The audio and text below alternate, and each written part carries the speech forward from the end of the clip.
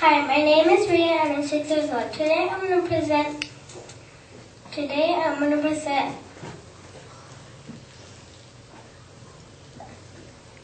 My favorite mo- mo- moment of Genius Kid. My favorite moment is. My favorite moment is creative writing. I like creative writing because one time I wrote seven pages.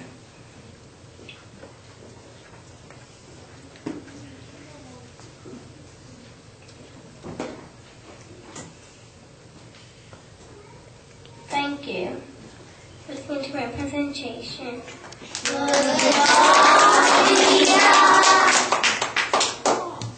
Thank you, friends.